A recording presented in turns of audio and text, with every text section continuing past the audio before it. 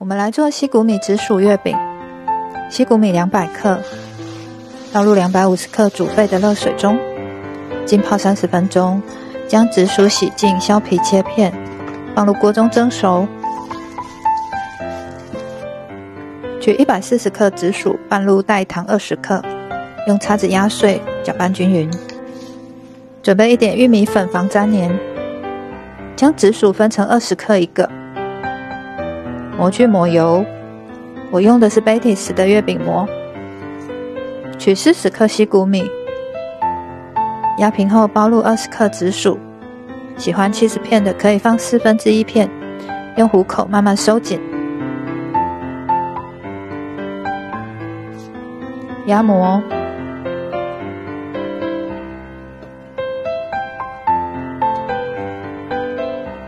下面垫张烘焙纸。